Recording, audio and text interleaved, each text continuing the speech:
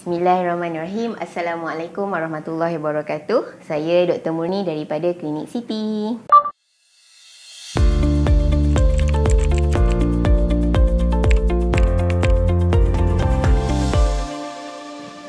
Okey, doktor, boleh boleh bagi sikit ke orang kata guideline ataupun panduan ialah kita orang ni ibu muda kan macam mana nak start dengan menyusukan bayi nanti. Okey, uh, terus terang cakap kan, doktor memang memang pernah juga dapat dia baru datang buka buku tiba dah tanya, "Doktor, uh, nanti ni saya nak susu baby macam mana eh?" Oh, dia baru buka buku dia dah terus tanya dah. Dia dah tengah fikir nanti dia nak susu baby macam ni. So baguslah tu, okey soalan tu. Okey, apabila kita bersalin nanti, dia memang ada perubahan hormon kita panggil uh, oksitosin semua tu dia akan hantar signal pada kita punya brain. So dia akan riliskan uh, hormon yang boleh uh, membantu uh, kelenjar di bahagian uh, buah dada kita iaitu kelenjar susu tu untuk mengeluarkan susu. So perubahan hormon yang berlaku ni dah memang dilahirkan secara begitulah maksudnya memang fisiologinya akan jadi.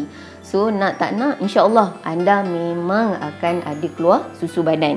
Okey, cumanya dekat sini adalah kerisauan sama ada boleh ataupun tak saya nak meneruskan.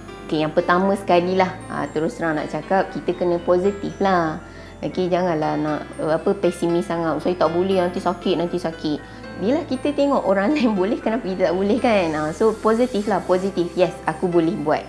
Okay, so apabila baby tu nanti dah lahir uh, kita memang uh, setiap ibu mengandung kita akan berikan baby anda untuk ada latching lah Okay, dia bersalin je, dia lahir-lahir je kita akan bagi pada ibu. So dia akan start latching so daripada situ kita dah start production of hormone tu.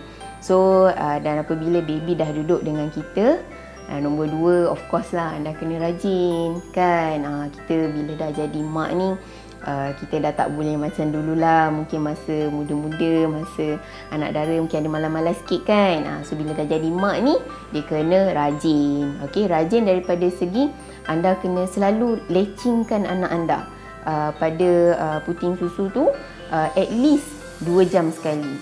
Okay, yang paling bagusnya sejam sekali lah. Dan setiap kali lecing tu pastikan dia stuck selama at least 15 ke 30 minit. So daripada situ uh, perubahan hormon tu akan berlaku dan production of milk di uh, buah dada tu akan meningkat. Uh, so daripada situlah insya-Allah anda boleh meneruskan penyusuan susu badan sehingga umur 2 tahun. Okey. So yang pertama sekali kena positif dan yang kedua anda kena rajin dan of course yang nombor tiga pemakanan lah. Uh, okay, so sewaktu dalam pantang tu, oh, bukanlah nak kata bila berpantang ni makan semua makan yang kering-kering. Tak. Sebenarnya bila kita sebut makanan orang selepas bersalin ni adalah makanan yang berhasiat. Susu memang kena minum. Walaupun dah bersalin, susu memang kena minum. Okay? Sayur of course memang kena ambil. So daripada uh, pengambilan makanan yang sihat ni, so anda akan sentiasa mengalirkan susu badan juga pada baby anda. Okey, itu saja. So alhamdulillah di klinik Siti kita ada pakar kita panggil sebagai breastfeeding counselor lah.